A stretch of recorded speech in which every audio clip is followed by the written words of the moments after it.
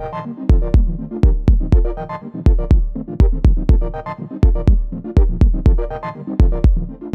gente!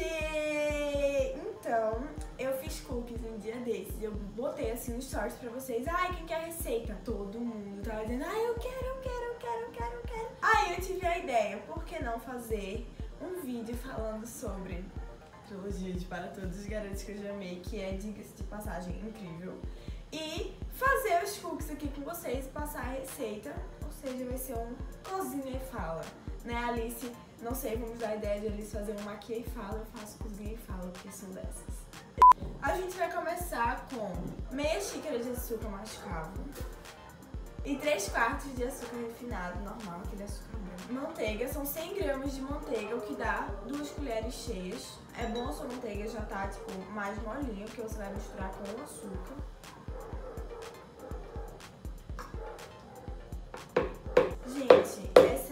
Amo demais esses livros. Vocês não têm noção. Eu li, tipo, o primeiro livro em um dia foi dois dias. Uma colher de chá de extrato de baunilha antes de misturar manteiga com açúcar e tudo. Você mistura junto também.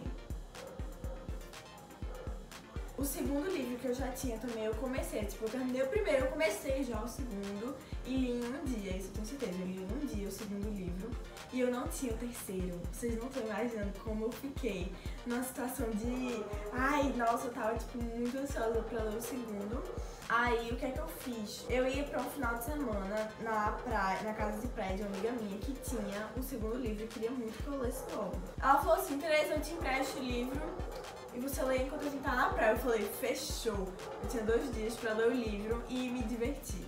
Então assim, né, de correr, mas eu consegui, gente. Aí eu li e eu chorei no final. Que livro bom. Primeiro livro, né, da trilogia, para todos os garotos que eu já amei, é porque a Laura Jean, ela é aquela menina super sonhadora, apaixonada, assim, mas que não faz nada pra conquistar os meninos que ela gosta. Tipo, ela gosta deles de longe, né? E aí, muita gente se identifica.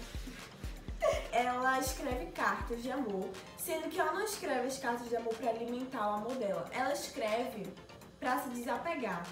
Porque ela sabe que ela nunca vai correr atrás desse menino, então ela simplesmente tipo, desapega. Deixa aí, ela escreve a carta e os sentimentos vão sumindo. São cinco cartas ao todo. Duas são para amigos de infância dela, o Peter K, Kavinsky, e o John McLaren Ambrose. Uma é para um menino do acampamento, Kenny. A outra é para um menino, um par dela num baile, que é o Lucas. E o outro é o namorado da irmã dela, o Josh Sanderson. A história, basicamente, ela não começa quando ela escreve as cartas, porque as cartas já são de antes do começo do livro. Mas a história começa quando a irmã mais velha dela, Margot, tá indo pra faculdade na Escócia. E aí ela fica meio perdida, assim, depois que a irmã vai pra Escócia. Tanto ela quanto a irmã mais nova, Kitty, ficam meio, tipo, se sentindo sozinhas, sem saber o que fazer. E aí, magicamente, as cinco cartas são enviadas. Imagina como eu acho que eu teria surtado. Teria surtado se tu fosse Laura Jean. Nossa, eu amo demais. Eu acho que eu ia ficar tipo, meu Deus do céu, minha vida acabou. E aí, é, ela descobre que as cartas vazaram, primeiramente porque o Peter K vai falar com ela. E ela fica tipo, assim? Porque o Peter agora, tipo, ele tá namorando com a ex-melhor amiga da Laura Jean, a Genevieve. E tipo, eles eram amigos, mas alguma coisa aconteceu que eles não mais amigos. Então, é complicado você chegar depois de muito tempo chegar e dizer, ei cara, eu gostava de tu. E aí ela, tipo, fala e explica a história, não com tantos detalhes assim, pra ele. E pede pra ele simplesmente esquecer. Sendo que o Josh, agora terminado com a Margot, eles não namoram mais vira e diz, oh, Lordinha, eu não sabia que você gostava de mim. Vamos conversar sobre isso. Aí o que, é que ela fala? Não dá, eu tô namorando. Aí ela corre e beija o Peter K, gente. Que menina inteligente, né? E aí a partir daí começa um namoro falso deles, porque os dois têm um certo interesse em, em fazer esse relacionamento falso. Que é o do Peter K é de fazer ciúme pra Genevieve, que agora está namorando um cara da faculdade. E o da Laura Jean é evitar o Josh. Porque ela sabe que por mais que tipo, ele não esteja mais namorando com a irmã dela, a irmã ainda gosta dele e não vai querer que ela namore com o ex dela. E, E sério, eu não sei como ela conseguiu administrar um namoro falso e não poder contar pra ninguém que tava namorando ele.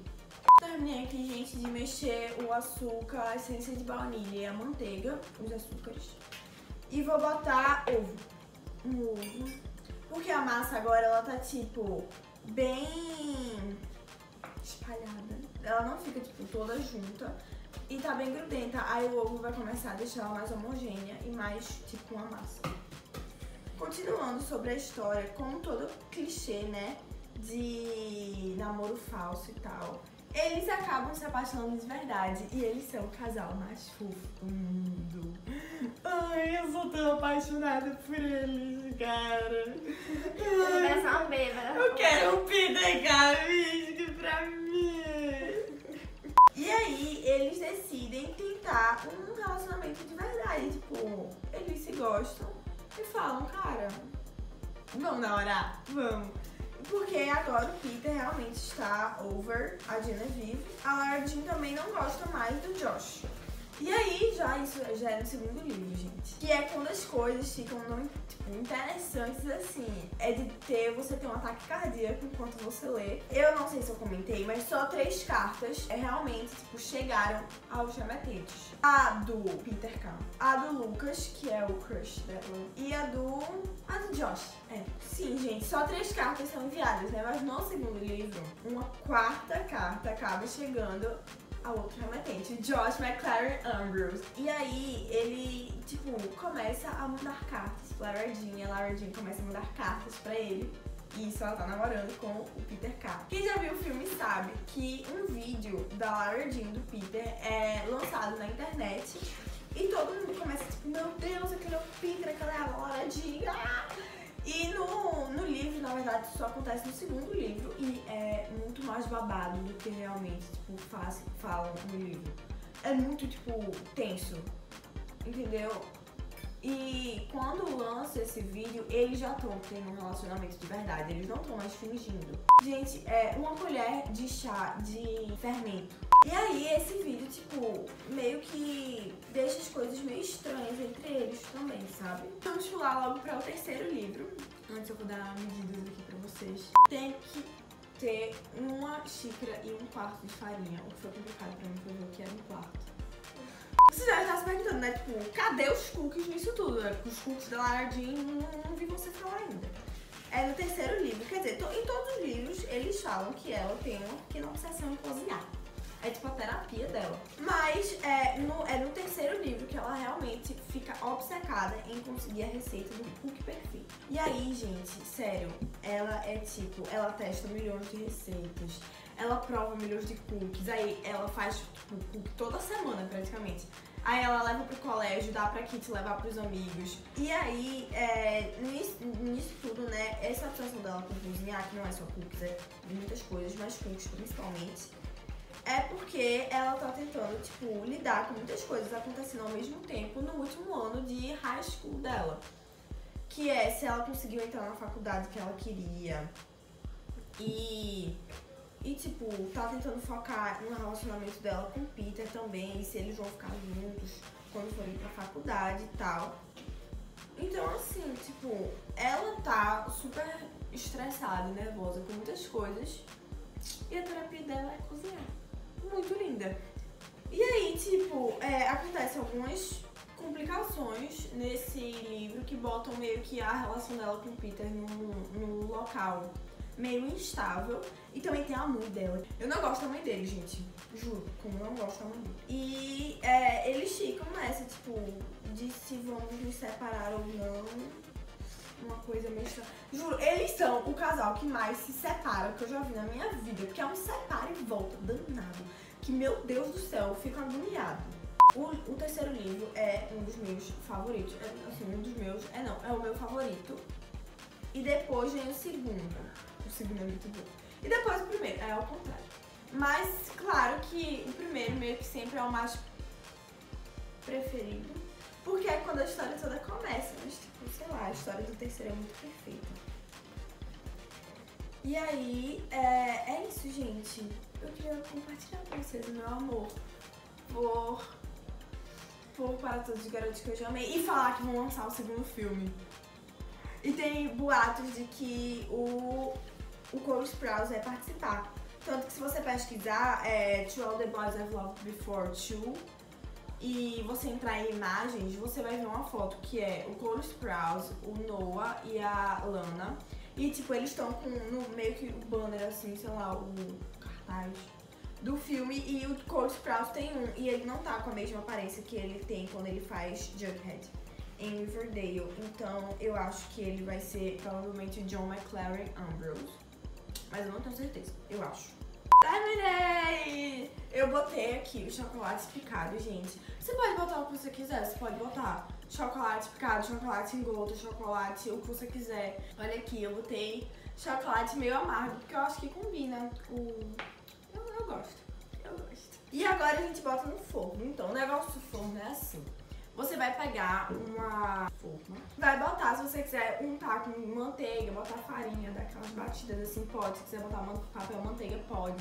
Se quiser botar aqueles tapetinhos antiaderentes, pode também. Vou botar agora na forma, vou botar no, no forno. No forno você pré-aquece ele a 250 graus. Aí você deixa um tempinho e depois você bota a sua travessa com a massa de 15 a 20 minutos. Aí você fica checando pra ver quanto tá.